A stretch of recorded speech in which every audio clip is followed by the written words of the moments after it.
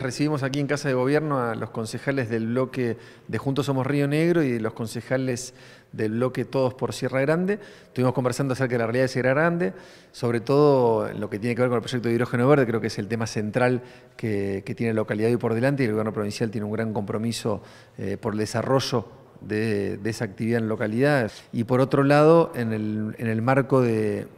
la conformación de lo que es el interbloque que están, que están conformando en Sierra, eh, acordamos el desembarco del plan de fortalecimiento institucional el 30 del mes de junio, donde vamos a brindar capacitaciones para todas las instituciones y empezar a trabajar eh, en su fortalecimiento, sobre todo para que todas tengan personalidad jurídica, para poder trabajar articuladamente con el gobierno provincial. Y abordamos otros temas como el desembarco del IPPB en asesoramiento para para algunas situaciones particulares y otros temas de índole general. Los concejales son, son los, que más tienen conocimiento de lo que está pasando en la localidad, los que tienen relación con los vecinos y para el gobierno provincial es fundamental la articulación con ellos para saber realmente qué es lo que está pasando y sobre todo para saber cuáles son las necesidades de la localidad y bueno, la verdad que fue un encuentro muy fructífero porque nos llevamos mucha tarea para el hogar para poder ir en breve con estas soluciones que nos han solicitado. Como decía el, ministro anteriormente, uno de los,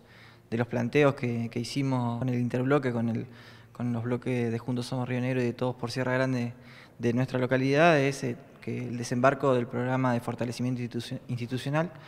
eh, es, un, es, un, planteo que, nada, una demanda que surge de la cantidad de instituciones que tenemos en Sierra Grande, del acompañamiento que ha tenido a lo largo de, estos cuatro, de estos tres años que tiene el gobierno provincial y, y que me parece que tenemos que seguir acompañando.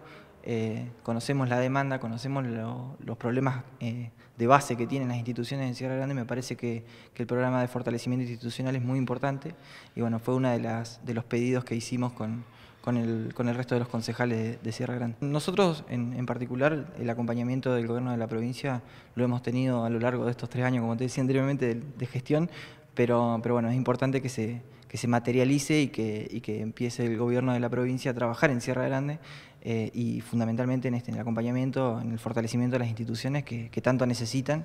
eh, de un acompañamiento ya sea económico o de infraestructura. Eh, nada, me parece, nos parece sumamente importante y, en eso estamos trabajando. La verdad que una reunión muy fructífera donde, bueno, en principio pudimos avanzar, nosotros tratar de,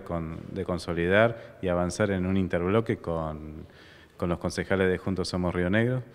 Y por otro lado, este, llevarnos algunas soluciones hacia Sierra Grande, eh, en este caso algunas gestiones con IPPB para poder avanzar en la escritura de, de algunas eh, unidades funcionales en, un barrio muy relegado de hace mucho tiempo que le viene una solución a más de 50 familias. Así que bueno, en eso muy positiva la reunión. Eh, nosotros nos vamos muy contentos, desde el bloque de Todos por Sierra Grande, muy contentos por, el recibimiento y, obviamente queremos que esto siga y siga avanzando.